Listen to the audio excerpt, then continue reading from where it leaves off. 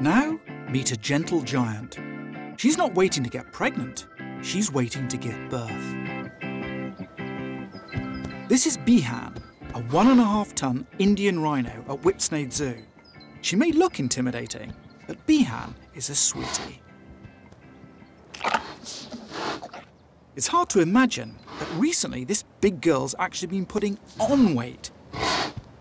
She's expecting a baby and she's been pregnant for almost a year and a half.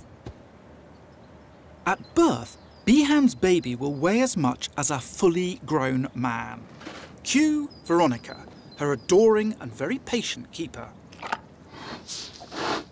Veronica has known Bihan since she was a baby. She came to Whipsnade as a one-year-old calf, and Veronica has been a constant companion for 13 years. Um, yeah, she always likes to know what's going on, and if there's anything happening around the area, she'll always be up there trying to see what, see what it is. But she's very friendly, very friendly. There's such a strong relationship between them, it's no wonder that Veronica is concerned about mum and baby. It's been a 16 month wait and there are no guarantees. It is nerve wracking but very exciting at the same time. You never can be 100% sure, as with all animals. They're very unpredictable. Some of them can have them very quickly and some of them have a very long labour. Good girlie. Hello. Indian rhinos have been around for some 10 million years. But hunters relentlessly shot them for sport in such numbers, they were very nearly extinct by 1900.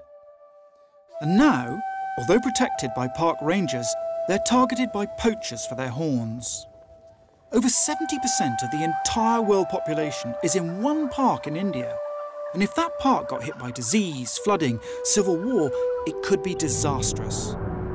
And if that happened, captive bred rhinos like Bihan's baby could offer a crucial safety net.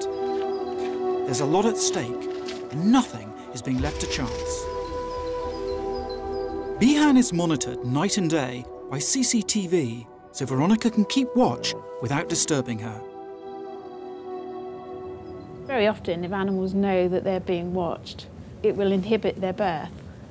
And it means we you know, we can always be on hand should the need arise for us to go in and assist her for whatever reason. But then it's just nice to be able to be there as well to, to actually watch the birth. So now the end game begins. Bihan's baby will be just the third Indian rhino born in captivity this year. And right now, there's nothing Veronica can do but wait.